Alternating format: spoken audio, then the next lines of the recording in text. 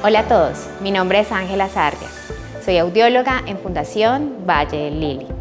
Quiero invitarlos a que lean la próxima carta a la salud acerca de la importancia en el cuidado de nuestra audición, entendiendo el oído como el principal canal de comunicación y conexión con el mundo sonoro, primordial en el desarrollo integral del ser humano y su contexto comunicativo. En la carta encontrarán recomendaciones y sugerencias importantes en el cuidado y la limpieza auditiva, además de qué tanto podemos o no exponernos a ruidos fuertes. Los invitamos a que lean esta y las demás cartas a la salud en el siguiente link.